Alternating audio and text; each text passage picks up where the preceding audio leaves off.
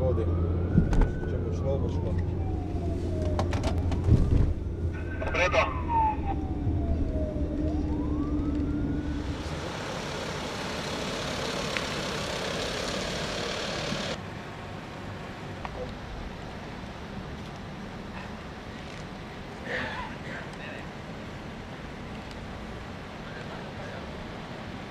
Welcome, Minister.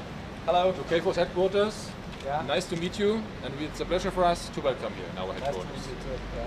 Please come in. And second time here. Second so- time for yeah, you? Yeah. Oh, perfect. You can see the list of all KFOR commanders. This is my ADC. Hello.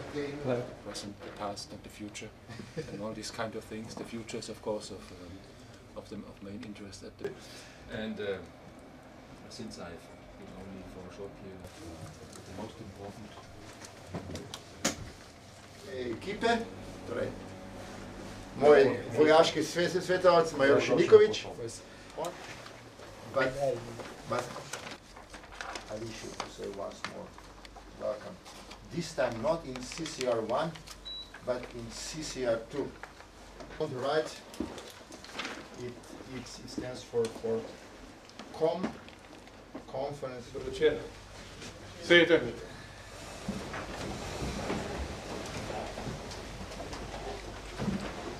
Pač skočim ali pa običam še vas kot pripadnike slovenske vojske tukaj na Kosovu. Z dveh vidikov, prvi zato, ker želim pač se z vami srečati, malo pogovoriti, pa na nek način obeležiti to vašo prisotnost tukaj, po drugi strani pa seveda dati poseben podarek uh, našemu brigadirju, torej uh, brigadir Pokrajcu, ki je pač zasedel to pomembno mesto, ne pa za kadrovsko načrto. Za nekaj nekaj obdobje ta številka ne, ne doseže, torej da ni, da ni da, da enostavno vojska kot neko, kot neko obdobje ni popolnjena, nikakor pa ne, da bi v bistvu bila to neka trajna rešitev, ki bi v bistvu podelila tukaj na Kosovo je vsaj v tem mednarodnem merilu, ne, ta prispevek izjemno pomemben. Uh, tu veste, smo bili nekako zmeraj tretja, četrta država po številu vojakov, ki jih sem napotujemo. Deve, enako velja za Bosno in moram reči, da sem se tam v ki so velikrat posledica vaših ocen, oziroma v največji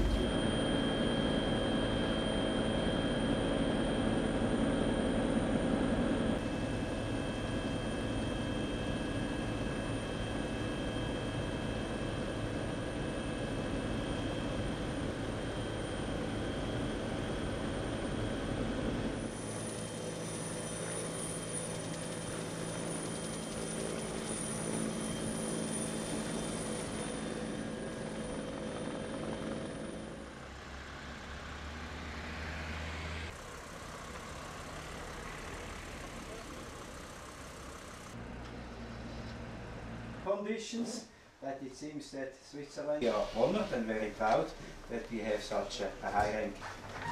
Anyway, Minister, Ambassador, again, thank you very much. I would like to start and to express my, as our uh, Popovic, so he was also uh, a, for, a former uh, Serbian, we have a, a ukrenuti in izboljšati uh, zavedanje. Joint Regional Detachment North, združeno regionalno poveljstvo sever za LM bojnim skupinam, uh, vzhod, zahod, sever, jug. Neki se oblači. Ja, moramo hitro poleteti. Ja. Bomo Ministr za obrambo Republike Slovenije, gospod Aljaš Hojs, zastavna enota slovenske vojske, eh, slovenskega kontingenta KFOR 26 je postrojena v vašo čast.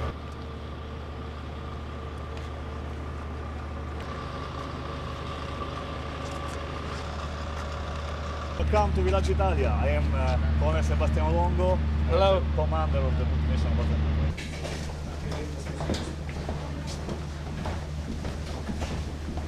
Just water, sir. Water will be fine. Normal for this. Here in Village Italia. They are, they are, they are very. Yeah, generally I would like. I think it's okay. Okay. yes, sir. Please, one. Okay.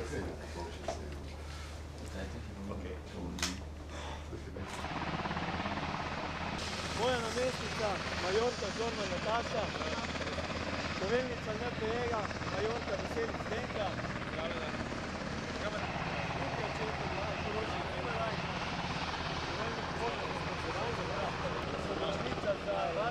zadeve in pa naš kaplan, glavnega počastnika ste pa že srečo, ne?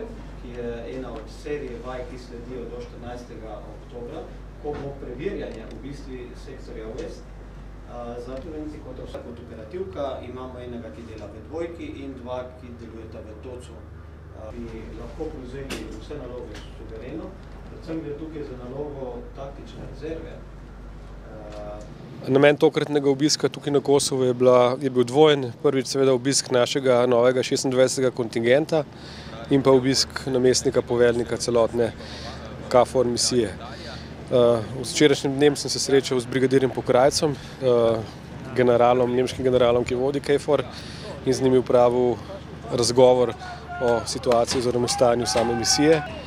Današnji dan pa smo v današnjem dnevu pa smo obiskali to lokacijo tukaj, torej bazo Villaggio in v tem dnevu opravili razgovor in se spoznali z delovanjem naše misije na tem področju. Moram reči, da tako kot zmeraj so naši vojaki, naši pripadniki visoko usposobljeni, strokovni in pa imajo izjemno dobro konekcijo oziroma povezavo z lokalnimi prebivalci, kar nas uvršča v bi rekel, sam vrh poznavalcev tega območja in pa v izjemno kredibilnega um, partnerja oziroma člana zavezništva, ki na tem področju deluje. Vsem pripadnikom sem seveda zaželel uspešno upravljanje vseh nalog, ki so pred njimi in pa varno in zdravo vrnitev v domovino.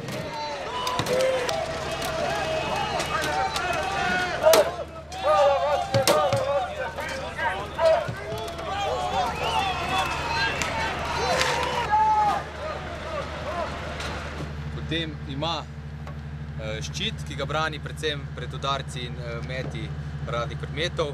To sta dva kompleta. In glavno orožje dela po, po večinah. Tako da zato pravim, da, je, da ni najbolj primerna za vadbo, ker oni ne morejo razvijati teh udarcev. Mi smo improvizirali, smo kazujejo.